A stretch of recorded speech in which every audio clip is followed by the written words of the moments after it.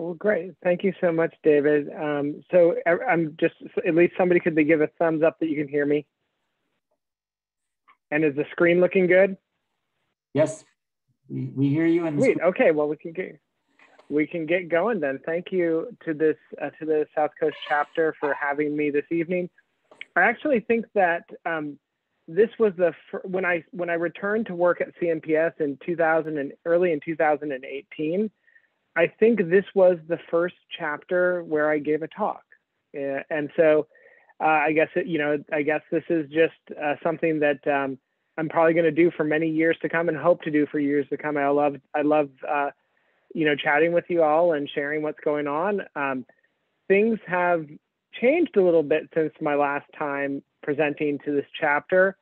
I was the, our Southern California conservation analyst for a couple of years before moving up to Sacramento for a more statewide position, and now I'm, you know, it's it's interesting to, to you know kind of gauge where things have have gone in one's life by actually returning to do the same thing in a different way. So, um, you know, thanks for just um, for you know for hearing me this this evening, and and I I I feel like in this presentation I've squeezed a lot. There are many talks within this single talk, so if I if you feel like I've glanced over something, it's probably because I have a little bit, but I really wanted to squeeze in as good of an update as I could with the, uh, about what's going on in the conservation program at the state level. So this is our team. Um, we have uh, uh, working for me un, under my direction, or like you know, basically under their own direction, and with a little bit of guidance from me. We have Isabella Langone, who's our conservation analyst based in Sacramento. Um, brand new to the to the team, Alvaro Casanova, He's our conservation advocate, and this is a split position 60% East Bay chapter and 40% state office. Uh, based, he's based in Oakland. Um, I said our Natalie Hopkins intern. We said goodbye to um, to our last Hopkins intern, Chris Escobedo, who is actually uh, did most, I think, the whole time that uh, he, that he worked for us, almost a full year, uh, was from from actually from Long Beach or in the Long Beach area. Um, and then our IPA program, which is a, which is under the conservation program, Sam Young and Kendall King, Kendall King, who was our actually our first Hopkins intern and just returned to CNPS a few months ago to as as a, a uh, full time IPA program assistant. So that's the team. Um, the talk I decided to to break into three um, three areas. There are these kind of interdigitate a bit at sometimes because certain times projects become things that we do litigation on. And, you know, sometimes a project can, or, you know, so can identify something that we might want to pursue with, with legislation, but we'll do our best. I'll do my best to, to make sure that it, it makes some, somewhat, some degree of sense. So I'm going to start out talking about what uh, the legislative activities, the highest level uh, that, that the state program works on. And I thought I'd just share, start out with sharing good news. I think most of the talk is good news.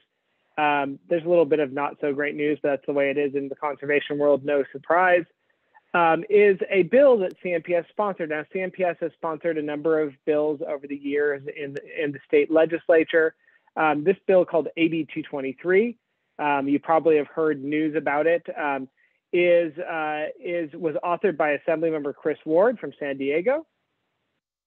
And the photos, you know, the photo of the plants in boxes is really the reason why um, why we decided to work on this. This is uh, a bunch of, I believe, Dudleya farinosa, so from uh, from the Central Coast, that were confiscated by state wildlife officials, the California Department of Fish and Wildlife. And about in 2018 or so, we started hearing reports of um, of an increase in large scale poaching activities in primarily in Northern California. Um, that has shifted also to some of the rarer species in Southern California. There's been some quite disturbing reports of poaching on the islands of, of plants like uh, candleholder Dudleya, Dudleya candelabrum.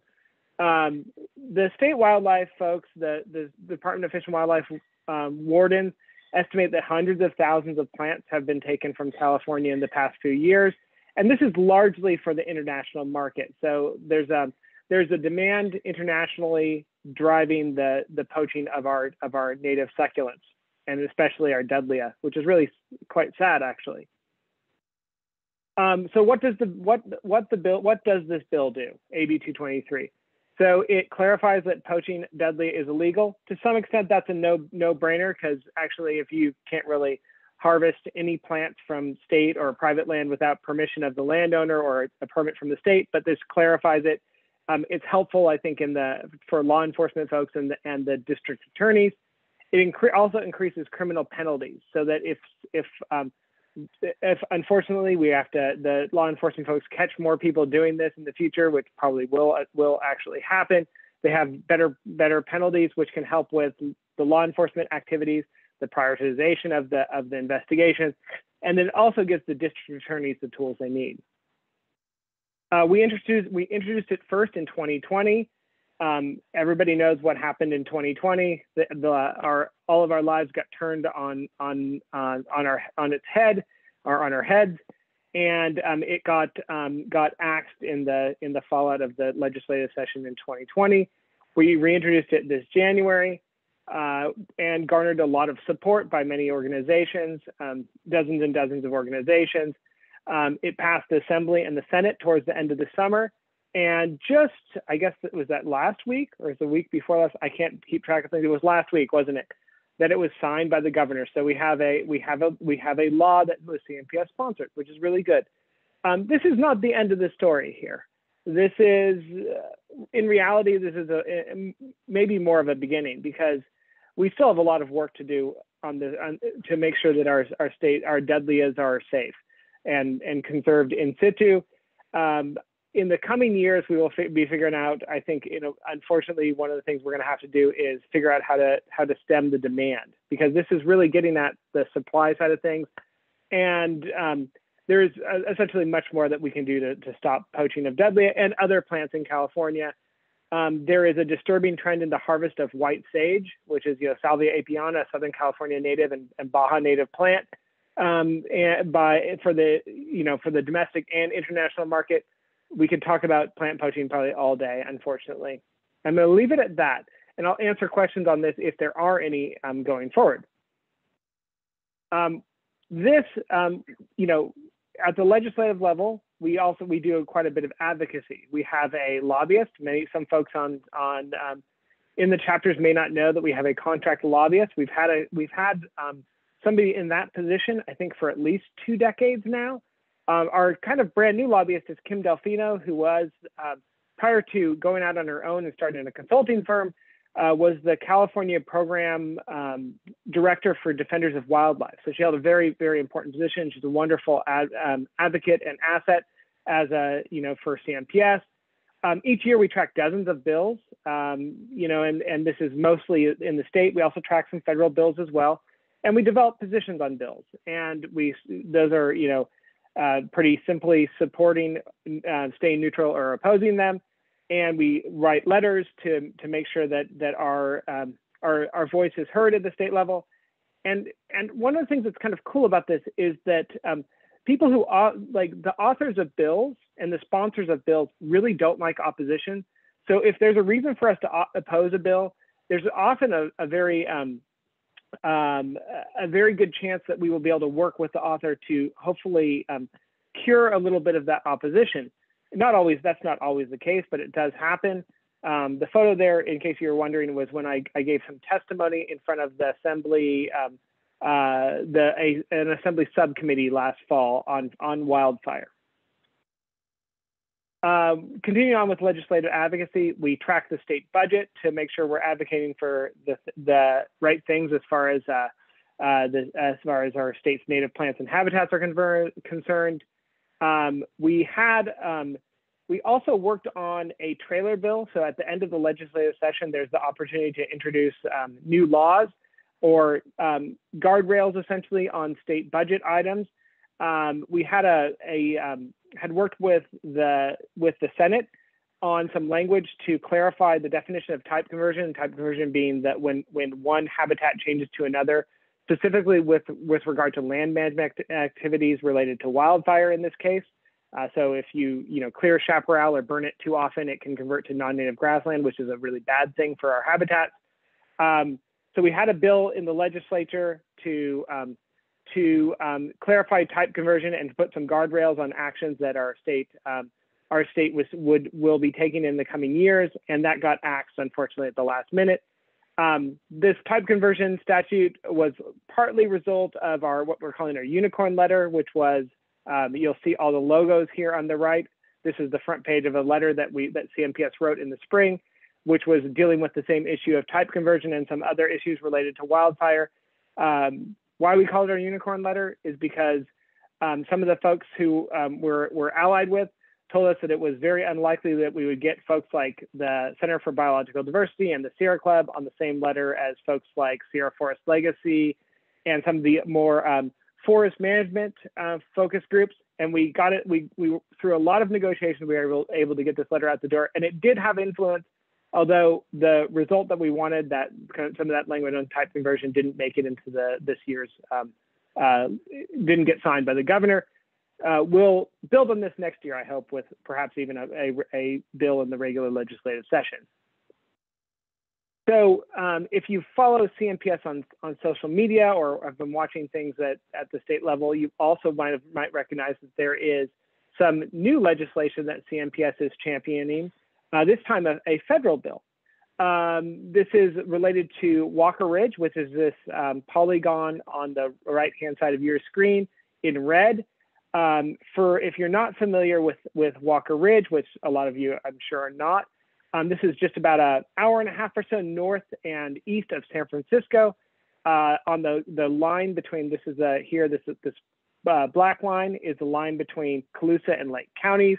This is just a little bit to the east of Clear Lake um, and adjacent to Berryessa Snow Mountain National Monument um, and famous wildfire viewing areas uh, in, um, in Bear Valley. Uh, this is a piece of land managed by the BLM, which is really special. It's a, there is, it is, um, the geology is, is um, influenced by serpentinite, or so you have a lot of serpentine habitat, which for many of the, you in the know uh, will will recognize is a place where there's lots of rare plants and lots of diversity, lots of native species.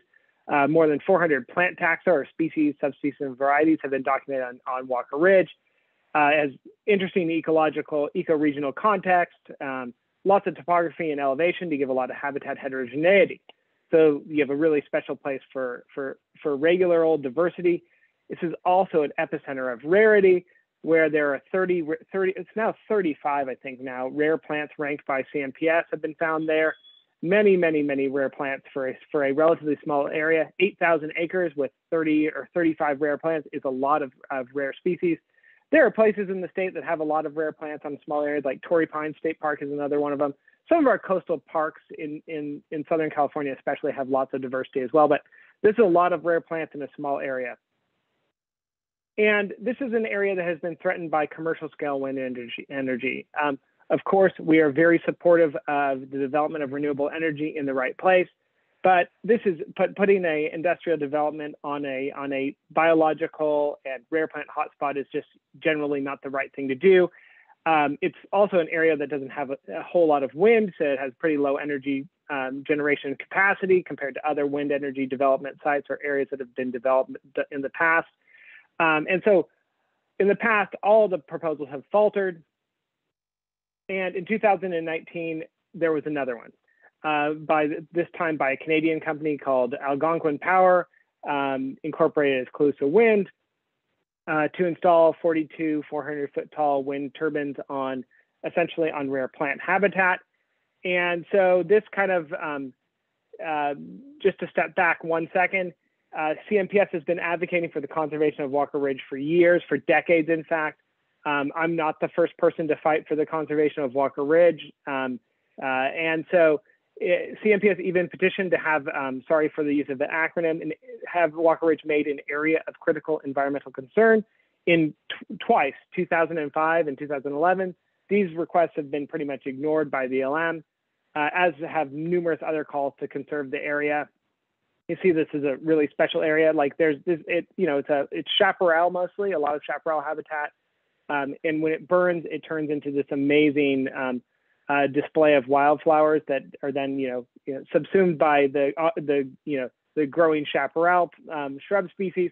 but it's just a spectacular place to to see plants and, and to appreciate um, the diversity, especially in the north coast ranges of, of California. Um, so that that proposal, um, to new proposal to develop wind on Walker Ridge, um, caused us to reform um, alliances to to fight uh, against that proposal. Uh, CNPS took um, a, played a pretty big role in that, along with uh, many of our, our, our classic partners like Sierra Club and local groups like Tuleyome and Cal and, and state, other statewide groups like Cal Wild and Defenders of Wildlife.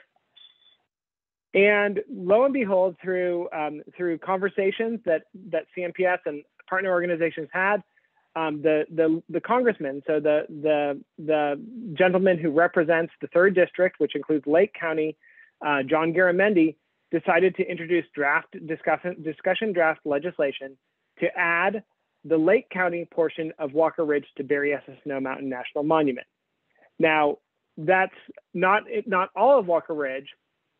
So there's a map. So there's the in in purple or sorry pink is the proposed Walker Ridge addition. It's about 4,000 acres, which would be added to the Berryessa Snow Mountain Monument, which is to the west.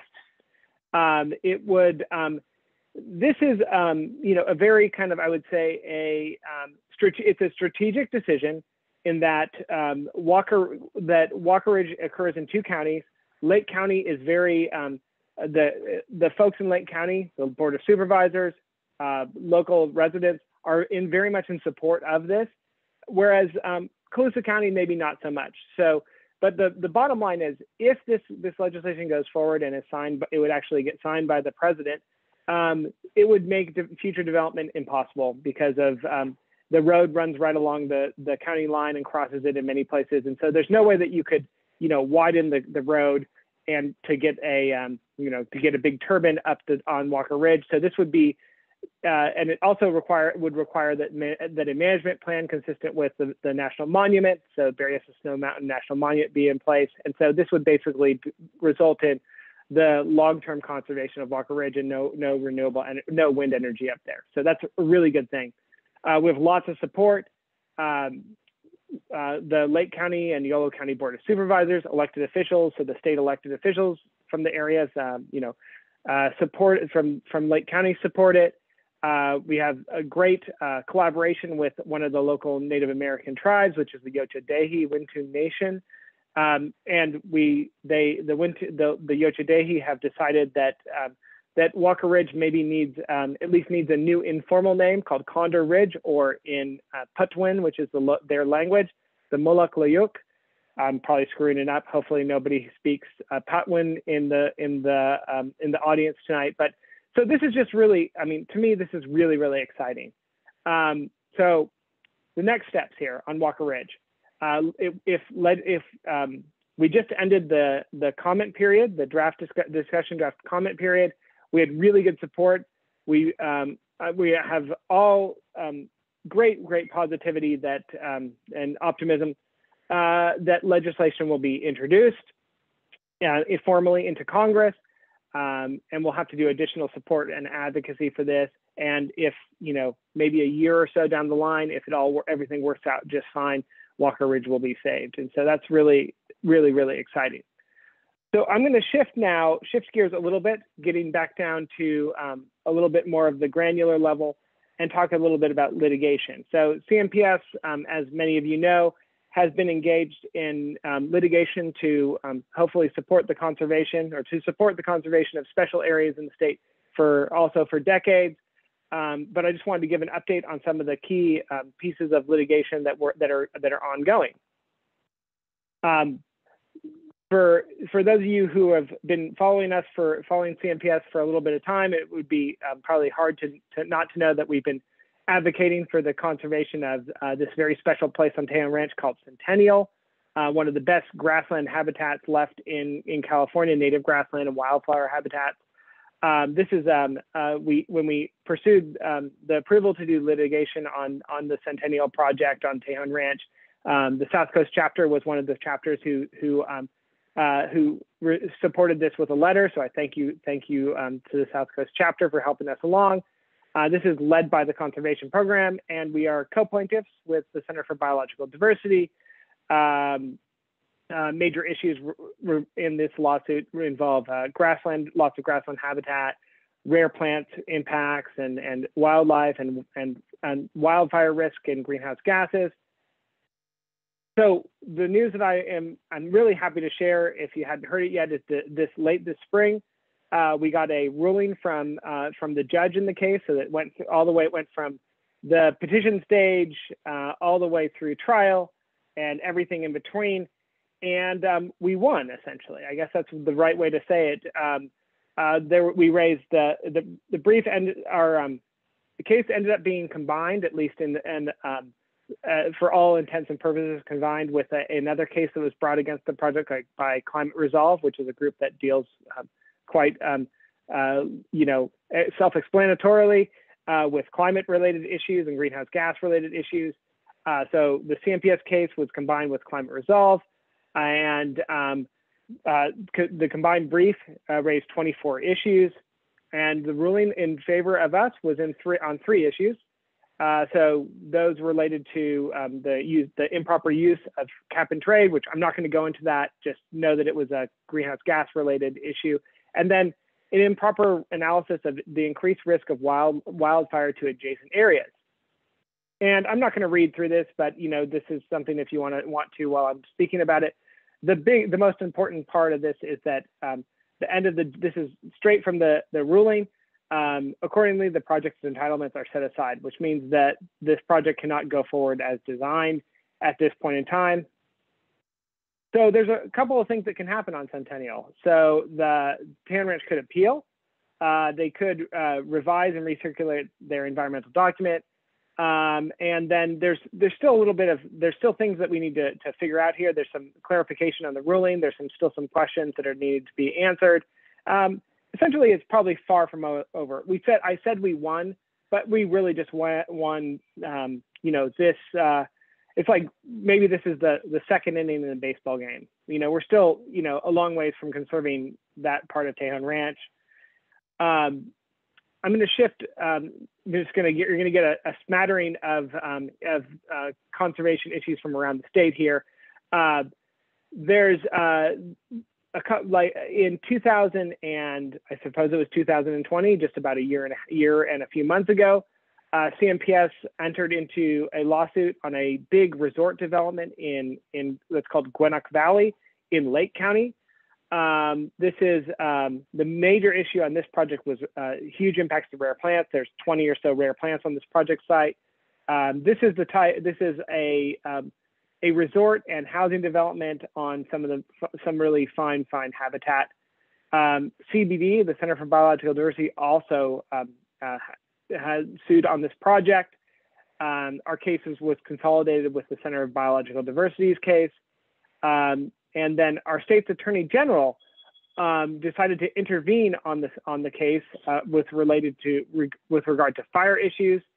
Um, and we have a trial date set just for a couple weeks from now. And we are super optimistic that we could um, have a big win on this project. I will certainly, if you stay stay tuned, see it. We will we will definitely post information on uh, the re results of, a, of the trial on this on our social media platforms uh, and on the CNPS website. Um, I'm not going to say a whole lot about this, but there is a um, beautiful habitat uh, just to the uh, west of Patterson, so in the San Joaquin Valley. Uh, the proposal to um, to do a, uh, a, a new dam where water would be pumped from the delta for storage in this um, this um, very very special canyon called Del Puerto, Puerto Canyon. Um, CNPS joined a lawsuit with uh, several partners, including well Sierra Club, the Center for Biological Diversity, and Friends of the River. Uh, this is a, a, case that is ongoing and moving pretty slowly.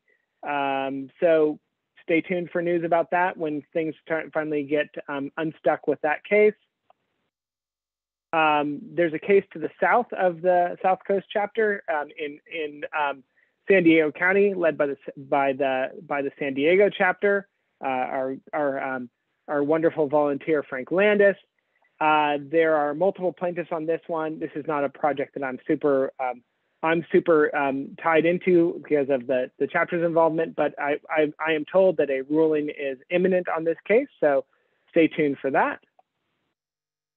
And then um, if you've been around CNPS for, uh, for some time, um, actually, so um, uh, Steve Hartman, who is uh, in the LA Santa Monica Mountains chapter, whom some of you probably know, um, when I first started working for the state office in 2018, I went and met with him, and he gave me a, a binder of information on WEMO or the West Mojave Plan um, from way back when he was working on it in the early 90s.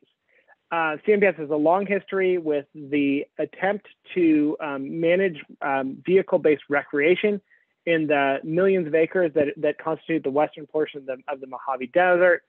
Um, it's a very complex issue. Uh, there, there have been past lawsuits on this, some of which CNPS was involved in, uh, particularly in the early 2000s.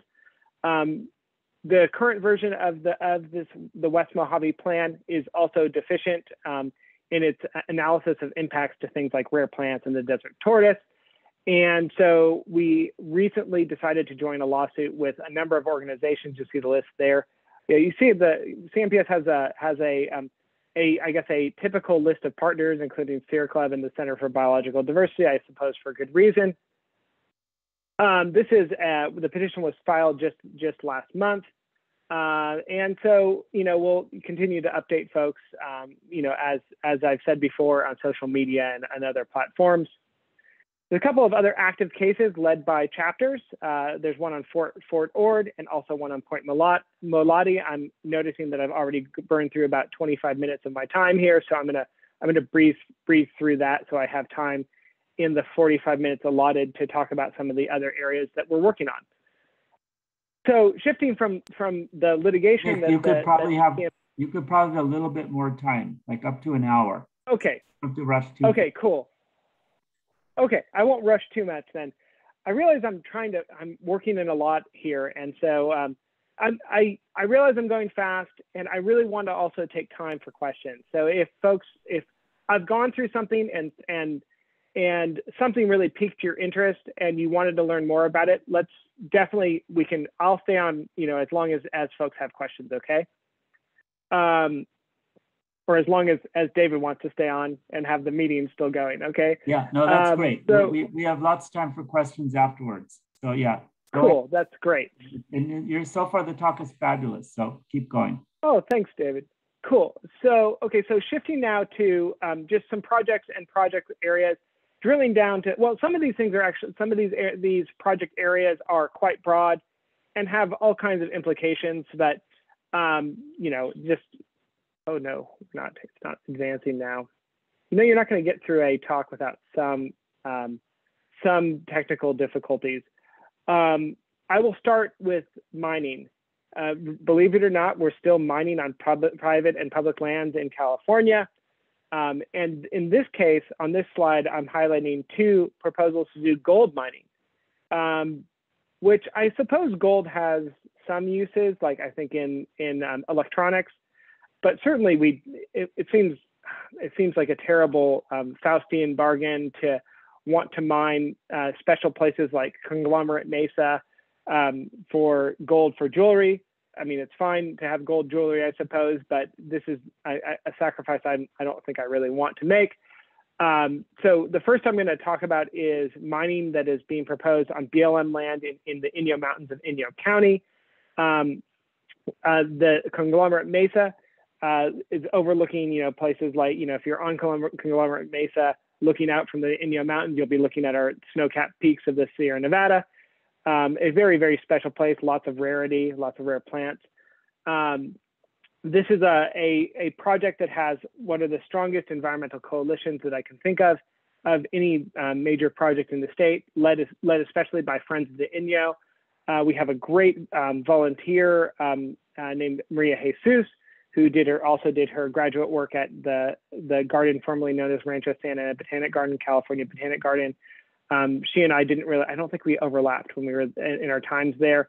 But uh, Maria Jesus is a volunteer with the um, who did her graduate work on Conglomerate Mesa, doing a flora there, and um, she has really taken the lead for CNPS.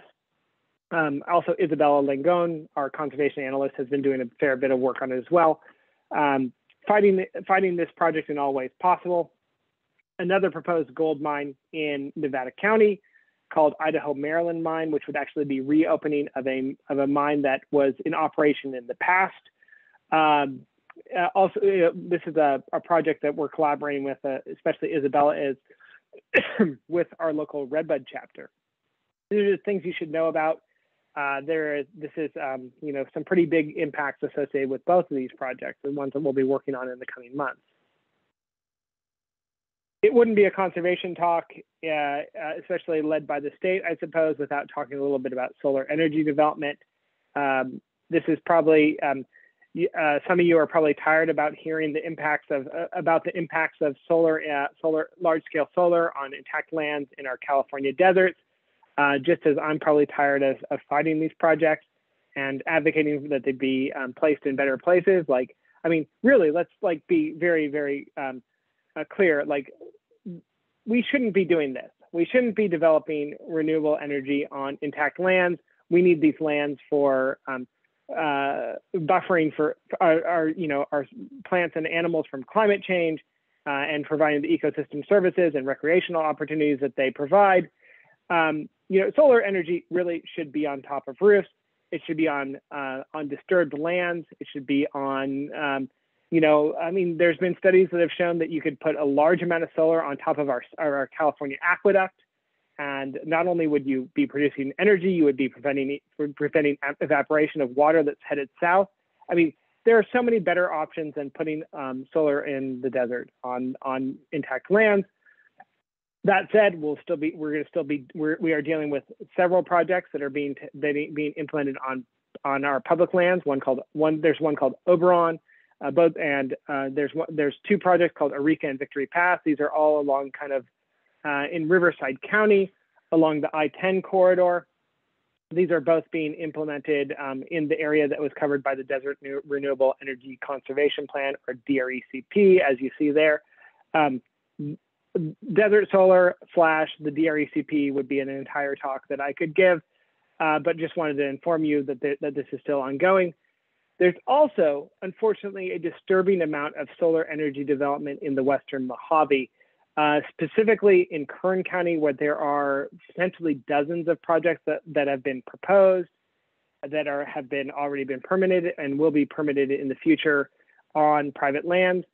Some of this, these developments are on areas that are pretty disturbed, some are not. And um, I would say, you know, CNPS and some other organizations, uh, some of our partners are continuing to track these projects and comment on them. Um, but it is, I will say that what's going on in the Western Mojave, especially in Kern County, is a, um, a bit of a slow moving disaster. I mean, there is one project that, um, that Isabella, um, my, you know, our conservation analyst submitted a comment letter on, um, which is called it starts with a B. I'm gonna I'm blanking on the name right now, uh, and I'll come up with it if you need it. Need if you need me to say the name, but is um, is 8,000 acres, and they um, in their EIR they admitted that they just didn't do rare plant surveys because it was too dry. So imagine an 8,000 acre project on near California City, so kind of north of uh, north and east of Lancaster Palmdale, uh, on essentially its intact lands that they didn't even bother to do rare plant surveys on, and so this is, you know, um, in order to really fight these projects would be, we would need a lot more resources. We need a lot more, you know, essentially Kern County is a pretty pro-development county um, and, and is uh, organizations that have sued in Kern County have not been super successful. So this would be, to fight these projects one by one would be a, a Herculean effort. I'm not saying that we won't, um, we won't try, or other organizations won't try, but I'm just wanting to let folks know that this is um, this is a pretty um, a potentially big big issue. Um, cannabis is an issue. Um, shockingly, one that we have to deal with. Um, of course, the legalization of, of, of cannabis is not something that's that's inherently bad, but when when the, the when the development of areas to to grow cannabis conflicts with intact habitats, we have a problem. Uh, there is a lot of illegal cultivation. There is um, problematic legal cultivation that's being permitted without adequate environmental protections, uh, without environmental adequate environmental review. Um, it is a problem really without a clear solution. Um, and it is um, it is also a um, Herculean effort to track these. Um, Isabella has been taking the lead for CNPS and and working on on, on as much as this as she can. Uh, and we also have, I will inform folks on this chapter in case they're interested in participating in the uh, working group. We have a uh, we have a cannabis issues working group that I believe is taking place on the first Wednesday of each month at nine o'clock in the morning. So if anybody is also interested in learning about what's going on with cannabis in California as it relates to the conservation of habitats, uh, let me know. Send me an email and I'll put you in touch with Isabella. Um, this, shockingly, um, I maybe said shockingly too many times in this talk, unfortunately, um, there is an awful lot of, of, of cannabis, large scale, like acres upon acres of cannabis being grown in our deserts, which involves things like water theft and all kinds of crazy things that we've been hearing about. Um, you know, our Western Mojave in particular gets hit a lot of times by a lot of different things, whether it's solar or cannabis or inappropriate vehicle based recreation.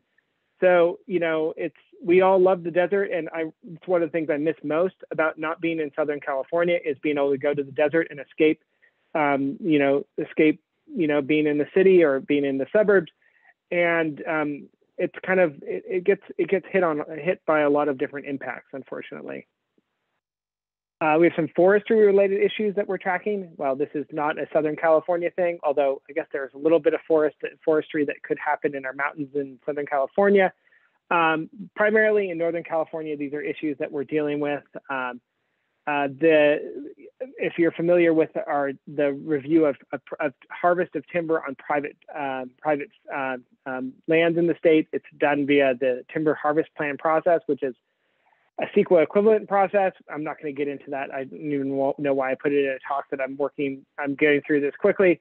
But um, the bottom line is that what is happening here is that there, the um, uh, CAL FIRE, who is the agency that approves timber harvest plans, is allowing uh, some of these plans to go forward uh, without even doing botanical surveys before approving them. Um, this is a legal issue.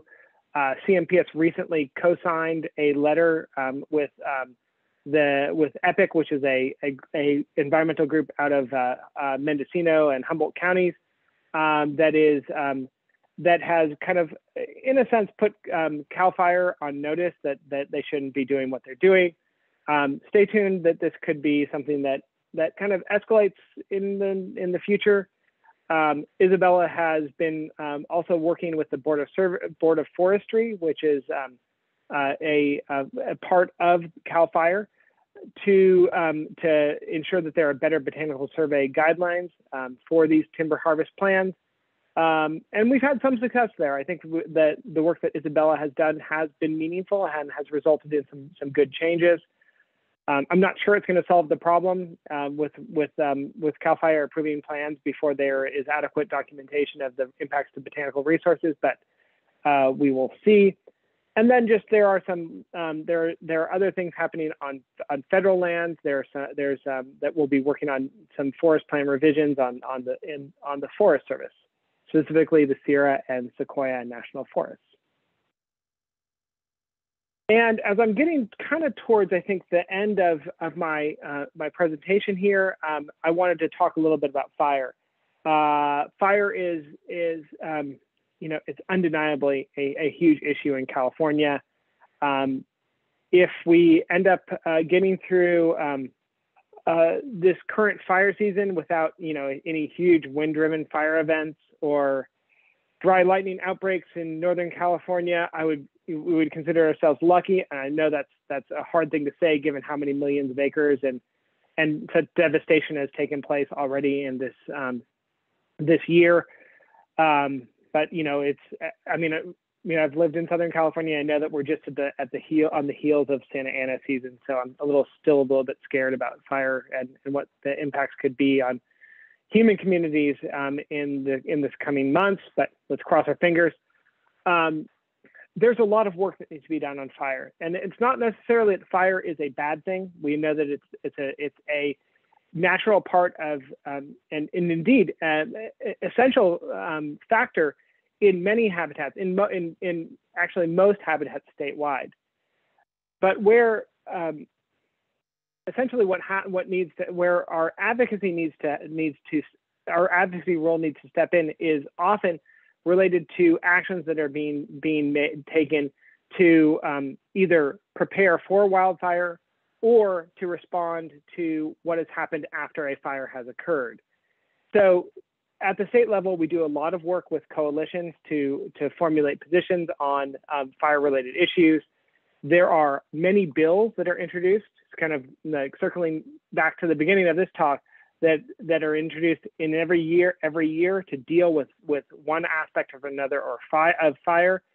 There are a lot of budget allocations that are taking that are that are being being um, being um, adopted by the state government and the federal government to to work on fuel management or uh, preparation of communities in anticipation of fire.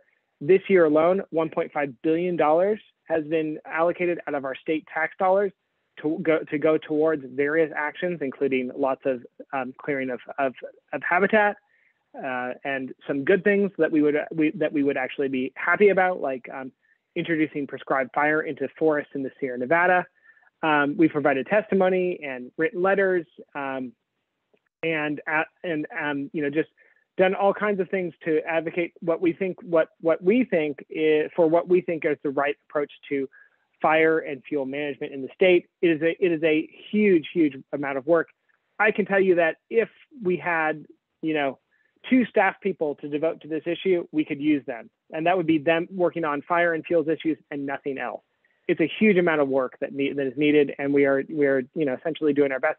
Chapters, some of our chapters also do a huge amount with local issues related to fuel management. I know that um, even uh, Chris is um, uh, Chris Sarabia from from this chapter has wor- has been working on fuel management, fuel modification issues uh, in in the in your local area essentially, you know, there are there are issues related to fire that are touching essentially every part of the state.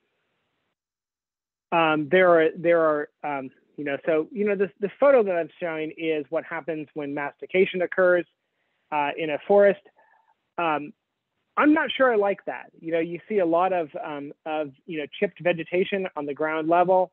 Um, I'm not seeing in that in that case of that mastication project a whole lot of opportunity for uh, for uh, for um, you know herbaceous plants and shrubs to come back in any any, any near time period. So this is what we're dealing with.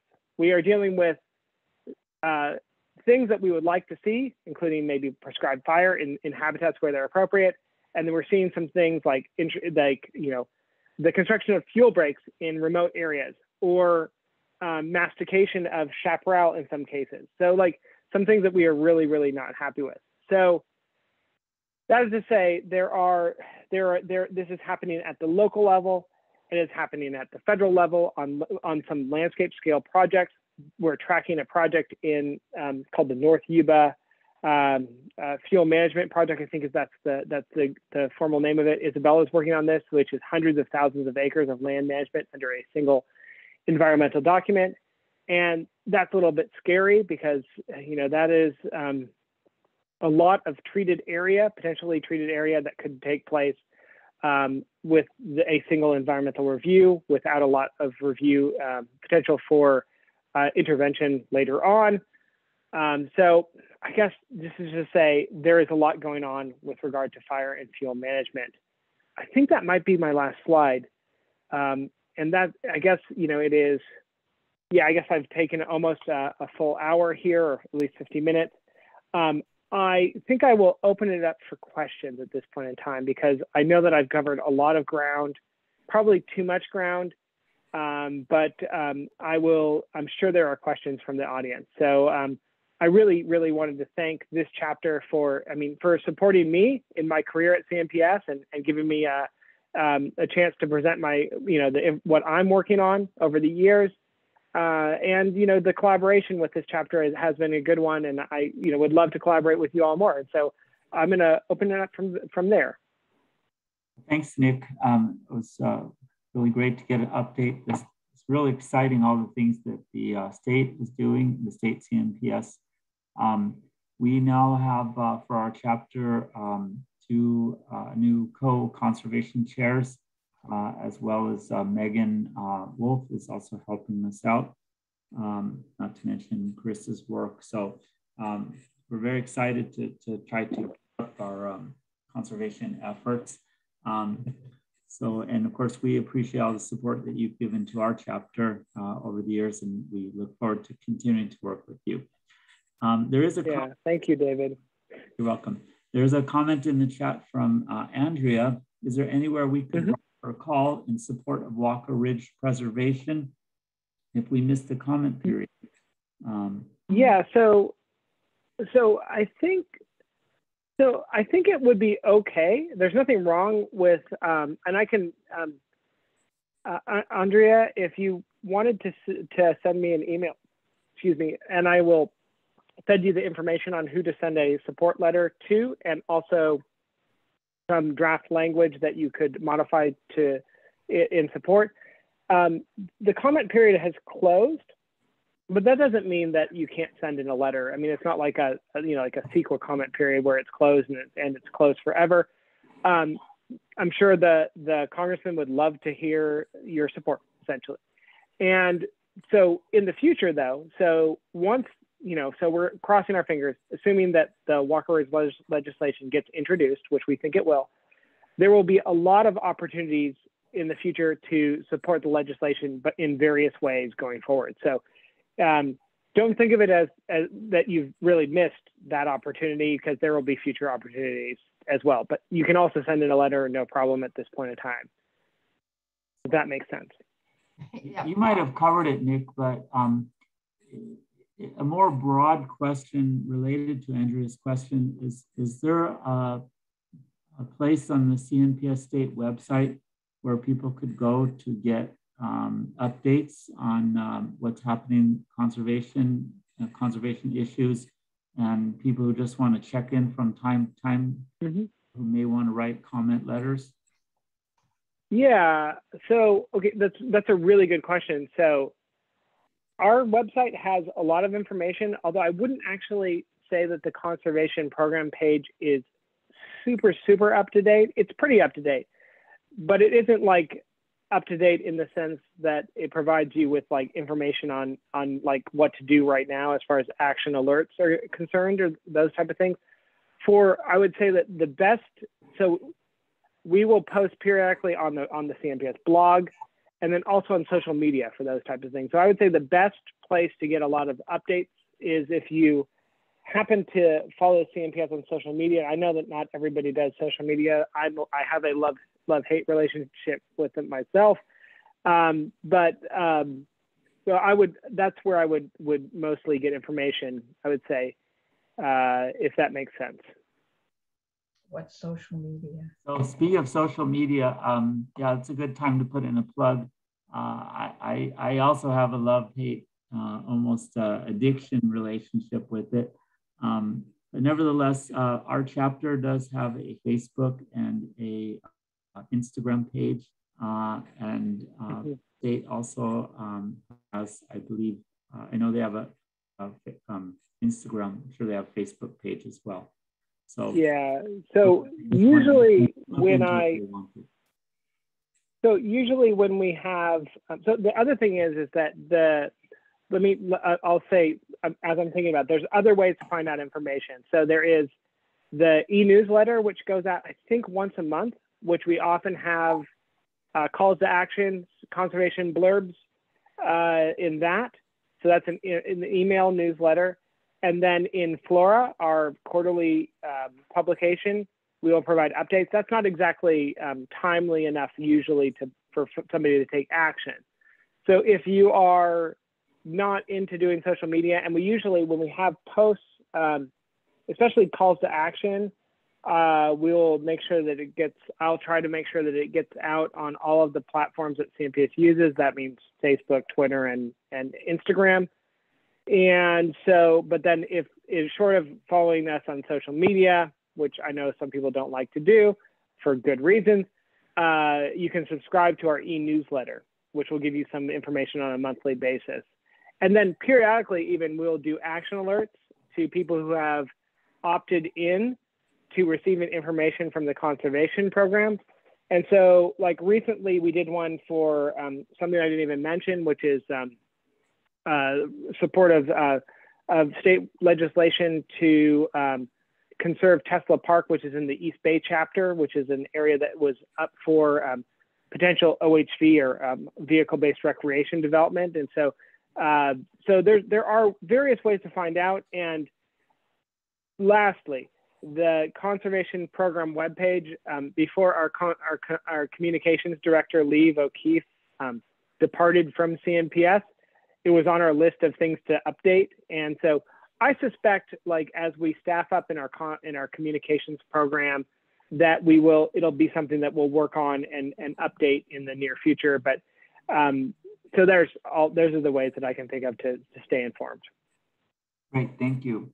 So I think we could uh, open it up to the uh, audience now if anyone has a question.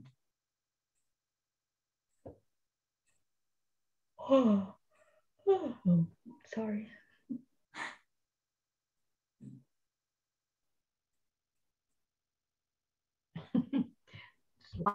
Nobody? No questions. Unquestionable.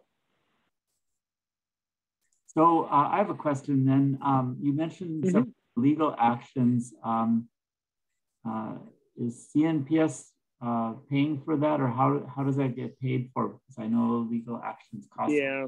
Money. It, it varies. It varies. There are there are lawsuits that the state has done over the years and at present where we are um, we are essentially joining on to another organization's lawsuit. So, for instance, Centennial um, we didn't. That's not one that we contributed money to. Um, the WEMO lawsuit, which we just, which was just um, filed, is one that is being done pro bono by the Stanford Law Clinic, um, and so there are various ways. So, so the state, so the state office and chapters have funded lawsuits over the years that are that can be quite um, potentially costly the cool thing about it is if if we choose wisely and we don't lose, then if we win on a lawsuit, and that's like you know you know if that's even a, a one of the one of the, win on one of the claims brought in a lawsuit, then we can recoup our legal fees. So there's that there's that aspect of it. So the answer is uh, yes and no. So we do pay for lawsuits. We sometimes we don't, and then the good news is, is that if we win, if the if our lawyers are successful and, and we're successful, then it's a zero cost game. On the other hand, if we lose, then we and we've put in a bunch of money, then potentially it's it's it's a loss to the organization. So I hope I answered your question, David. Yeah. Any other questions from the audience? I see one hand raised. Yes, that's me, Ann Dalkey. Um, I, you know, I, I'm curious about the wildfires. Um, throughout your talk, you talked a lot about federal issues or federal agencies and their movements, but I didn't see so much in the way of states. And on the wildfires, the state is certainly getting impacted. And I got to wondering um, back in the mid 70s, I saw fire management in Yosemite National Park. And I mm-hmm. read recently that fire management within the um, grant general grant tree of Sequoia National Park in that, that local area that helped save the trees.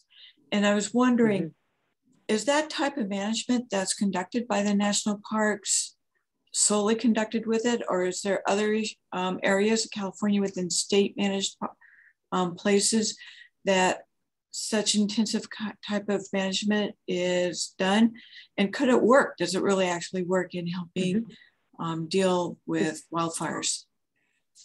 It's, that's a really good question. So, so there are there are many places in the state where active management of habitat in a ecologically sensitive way is taking place, and that includes so federal lands like, like our national parks. It involves, it includes national forests.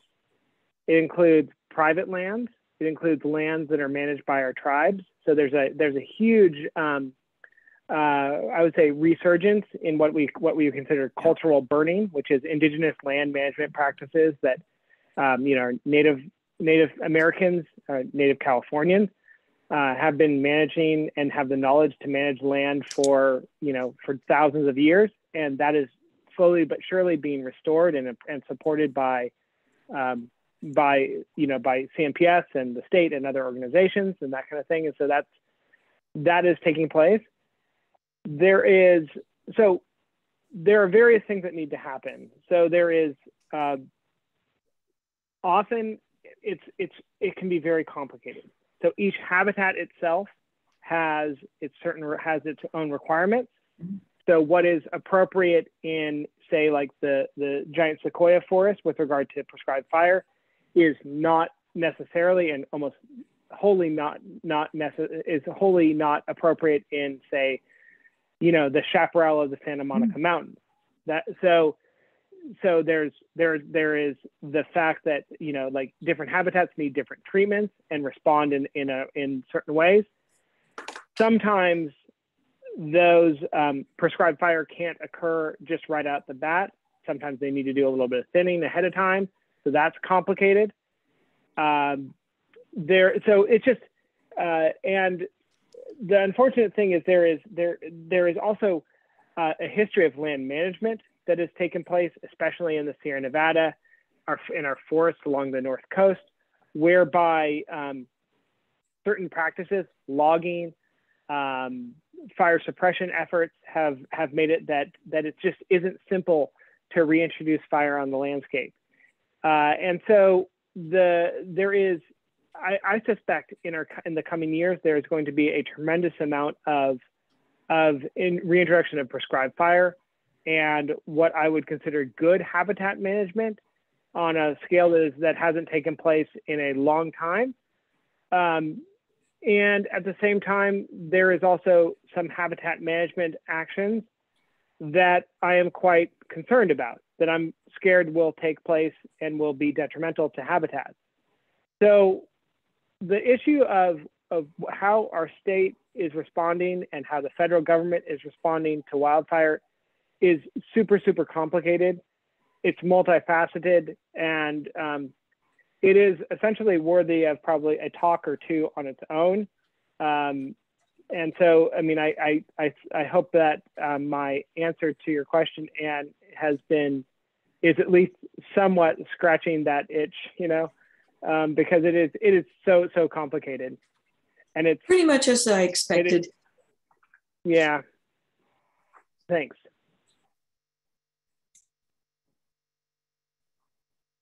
While we're waiting for the next question uh, in the chat, um, apparently October 16th, there's going to be a Los Serenos uh, nature walk uh, at Alta Vicente, meeting the City Hall parking lot. Um, and then also there's a tour on October 10th uh, and uh, South Bay Waterwise Garden the uh, person that organizes that tour said there's a number of uh, native gardens or plants that feature uh, gardens that feature native plants on that tour. So if anyone wants to look in the chat, the information is there for, for that. So thank you. Any other questions?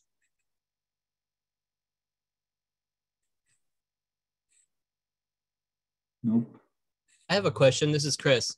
Uh, Nick, hey, Chris. Uh, hey as uh, since you were the uh, SoCal conservation analyst for a couple years, do you mm-hmm. think that's something we should fundraise for as a as an important position, or do you feel that um, you guys uh, are able to kind of keep track of things uh, with you know you have you have a variety of staff and so I, I just mm-hmm. wonder you were in that position and you covered basically just SoCal or for the most part, I guess.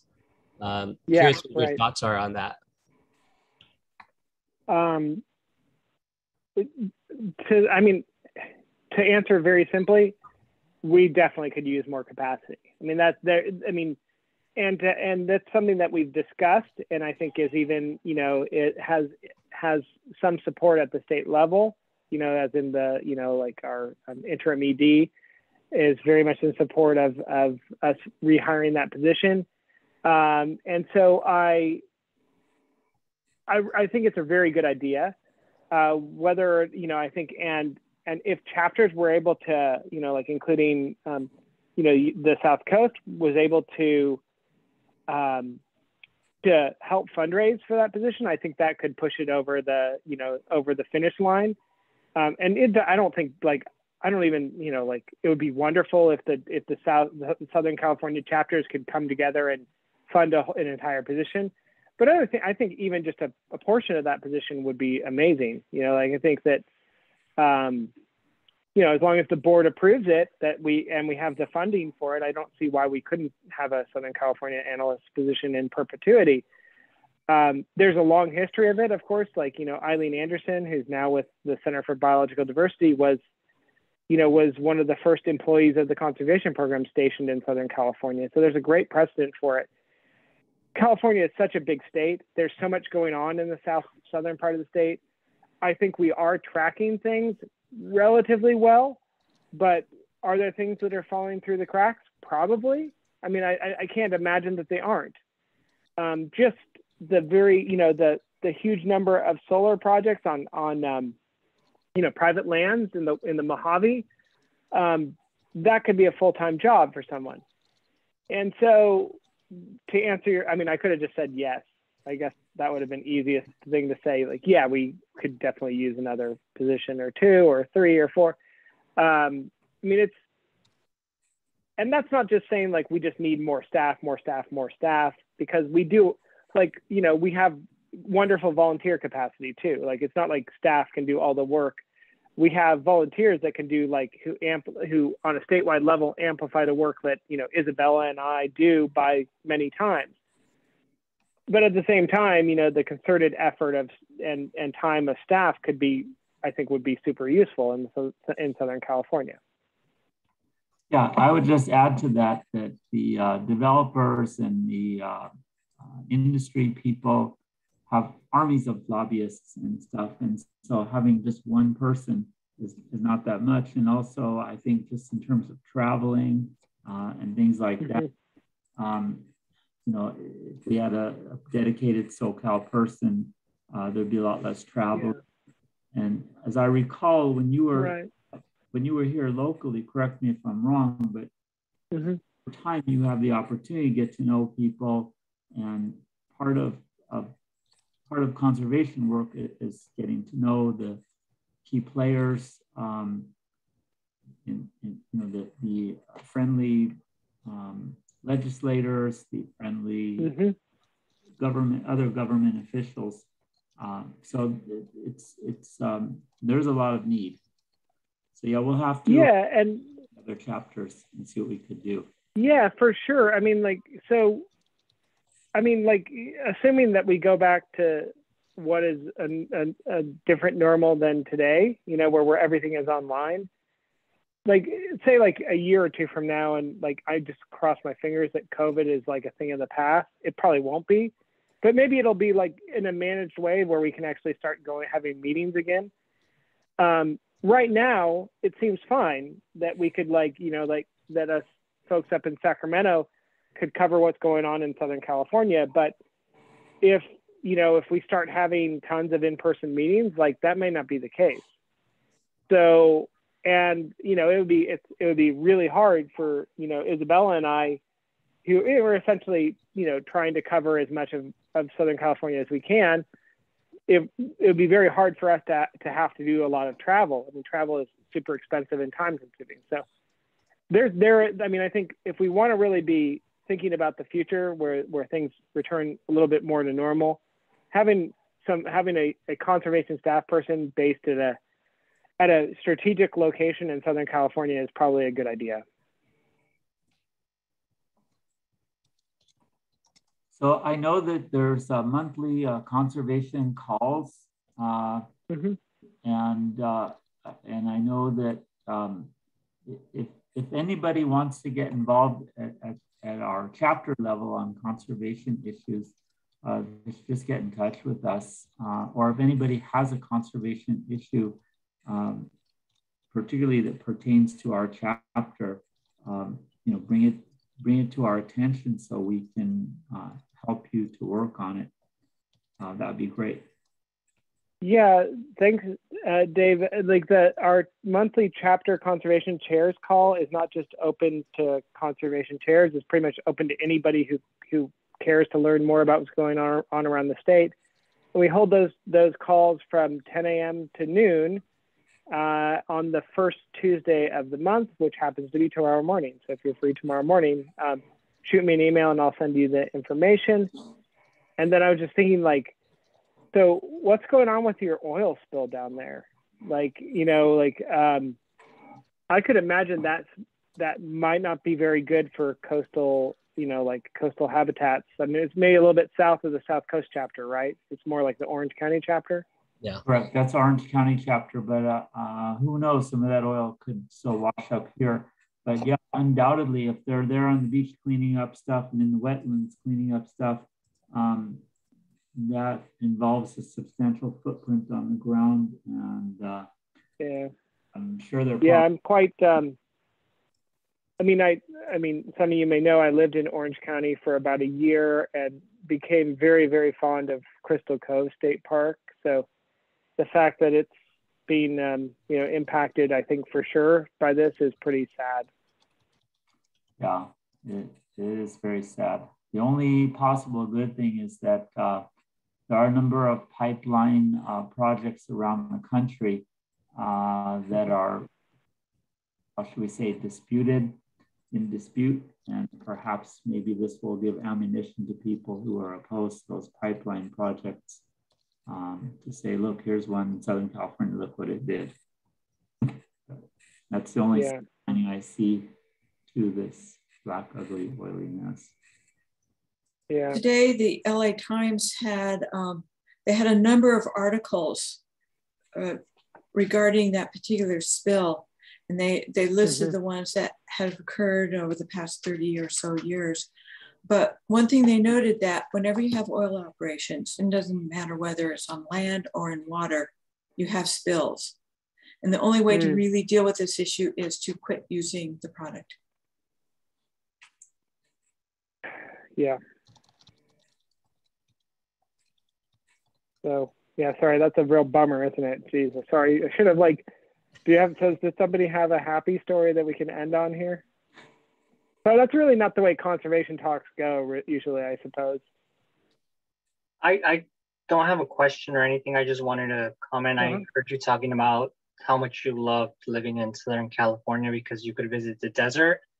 I was actually yeah. in Death Valley this weekend and it was my first time and man, you're you're you're so right. Like now that I've been yeah. there once, I think I'm gonna go back multiple times because it's just really amazing. Yeah yeah, that's that's the that's the fun part. I mean, California is an amazing place. Like, there's no doubt. I mean, and and you can like you know like and I'm in Sacramento. I can go to the coast and I can be in Point Reyes. I could go up to the Sierra Nevada in a given day. But Southern California has like, I mean, has the desert right there along with the mountains and everything. It's pretty rad. I mean, it's just like, you know, it's it is one of the best selling points for Southern California as far as I'm concerned. I mean, it's all good, but um, I miss it a little bit, you know. I have to come. I mean, it doesn't mean I'm like it's not. It's not like like the desert is dead or anything. I can come down whenever I want, but it's like you know I just can't just like jump in the car and be there in an hour or two. Yeah. So yeah. Oh, okay. So yeah. uh, let's see. Uh, right, so there's a comment in the uh, chat. Uh, are there volunteer efforts our members are participating in that needs help from uh, us, uh, specifically related to the Orange County uh, oil spill? Uh, our oh, yeah. I don't know. Our chapter is not specifically involved in that, but imagine if you contacted Orange County chapter, they might know um, and stuff. Rosalie Preston put a comment in the chat. Um, there is a Expo October 13th and 14th in Long Beach at the Long Beach Convention Center. Uh, if anybody's interested in uh, helping us uh, to have a table there, um, let me know. Um, it'll be Wednesday and Thursday of uh, October 13th and 14th. So next week.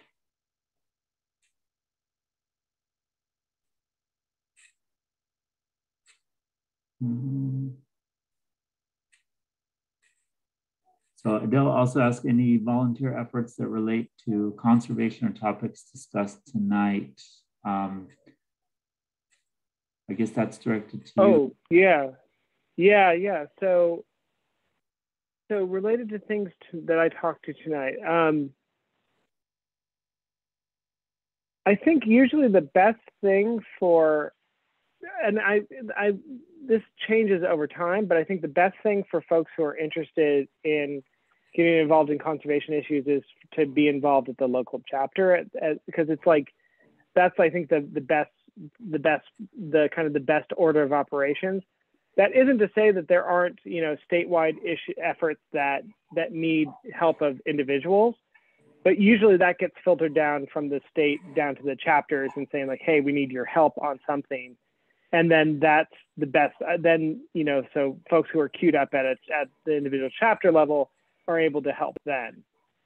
And then aside from that we do periodically do action alerts where we'll say like, hey, we really need a comment letter for X, Y, and Z projects. And so, and we'll probably do more of that in the future, you know, and, and so I, I hope that's, you know, satisfactory. So I would say like for the, the person who wants to be involved in conservation and CNPS, I would say like, um, you know, get in touch with uh, the folks, the conservation chairs at this chapter and um, ask how you can help. Yeah, I think uh, you know, local is, is the most important thing because people are most familiar with that and typically most passionate about that. Uh, and there's no shortage of things in our chapter, uh, conservation efforts that, that need to be done. I mean, from, you know, just keep an eye on the golf course. Uh, there's mm-hmm. on at Malaga Cove. Um, there are a number of conservation issues uh, locally at home. So um, specifically, uh, if, if somebody wants to get in touch with uh, Kathy, uh, who is our conservation uh, chair, you could send me an email. Um, my email should be on the web page. It's uh, cnps.president at yahoo.com. And um, I will make sure that your volunteering uh, efforts get to the right place. Your volunteer request. All right. Well, thanks a lot, Nick, for uh, taking time out of your busy schedule. I know you are working on this stuff all day, every day. And, uh, so to come out in the evening as well and, and uh, spend your time on it, we really, really appreciate it. Um, no, this is this is like in all in all honesty, being able to you know present a little bit about what's going on is and and to chat with the chapters is is super rewarding, you know, and like I said before, the work that is done at, at the chapters, and this is not just in the conservation realm, it really like like our staff is dwarfed by the amount of work that is done at the individual chapter levels. You know, when you amplify, for instance, what's done in your chapter, but you know, 34 other times, there we can't even compare as a staff. So like, so you know, keep up the good work done there. I really appreciate everything you're doing. And then the same at the same time, when you have, I mean, like I know that you, you this chapter wouldn't hesitate to reach out, but if there's anything ever pops up that you could use help with, let us know. That we're here to help you guys as well, and and you know even if it just is you want to chat about something and say like we're having this issue, what do we think? We may not have the right answer, we may not have even a better answer than you could come up with, but you know sometimes it helps to just have a different you know set of ears to chat with. Yeah, I forgot to mention too. Um, that uh, part of my inspiration for uh, inviting Nick was that in uh, at the September chapter council meeting, uh, we typically have a day set aside to a conservation update. Um, mm-hmm. And uh, so that was last month. So you have to wait till next September to get that. But also in uh, 2022, CNPS will be having its um, uh, triennial uh, conservation conference. And uh, I've been to the last three of them, and though, even though I have to say, uh, I'm I'm interested in conservation, but it, it's not my number one passion in life. But when I go to the con, I've been to all the last three in a row conservation conferences, and it's so inspiring to me uh, to see thousand people in, in, in one room uh, that are all passionate about conservation and botany and, and the importance of plants.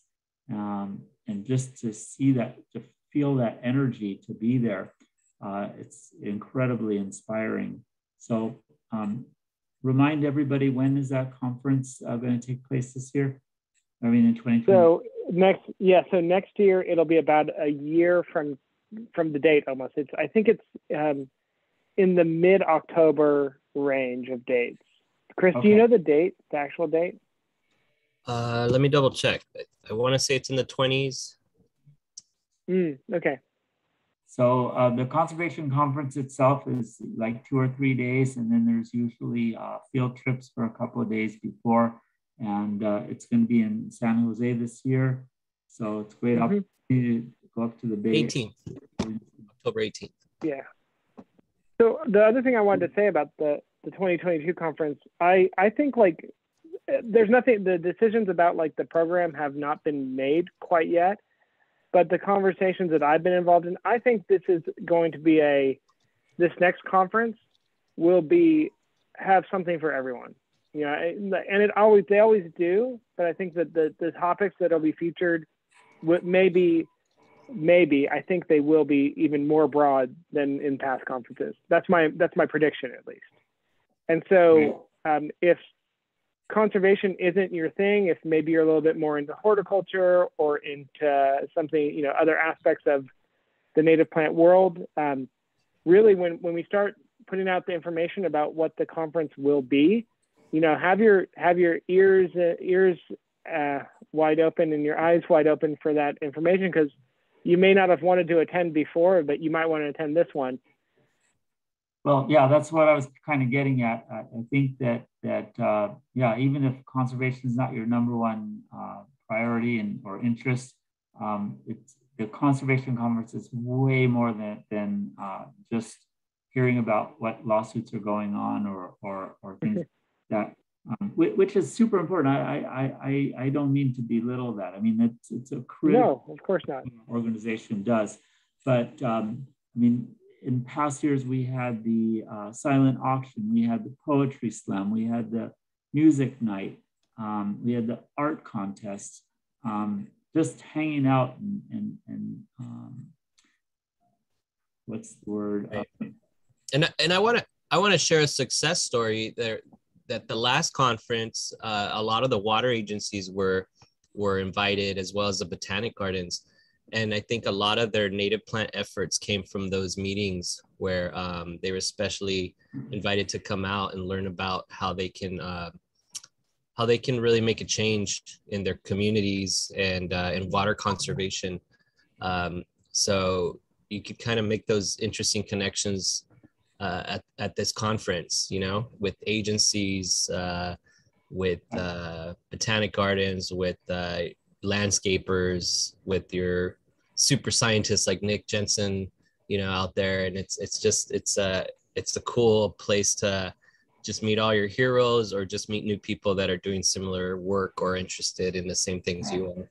It's, it's an incredible opportunity. The word I was looking for is to network. Um, and again, mm-hmm what level you are at, whether uh, uh, you're a student or you're a, a, professor uh, or, or, whatever, there's something for everybody. And, and uh, we always get fabulous, really top, uh, you know, world-renowned speakers that come. Um, uh, in previous years, our chapter has um, also funded students to go.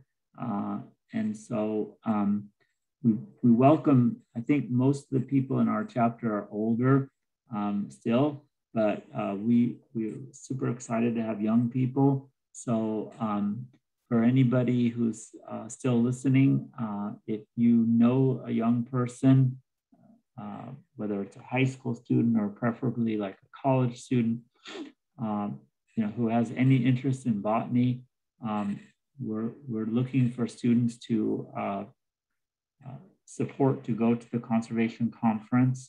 Um, and um, we also have Consi money available from our Consi grant program for some uh, projects. Um, and ideally, it would be great to have a young person's uh, section of our, our chapter. So um, if anybody knows young people that, that are interested in, in native plants and conservation, um, you know, tried to steer them our way um, because we, we gave a pretty nice uh, stipend to people as well as paying for their conference. And um, so it's, it's a really uh, great opportunity. People like Megan Wolf was uh, one of our student uh, attendees and now uh, works for the Land Conservancy and uh, works for us.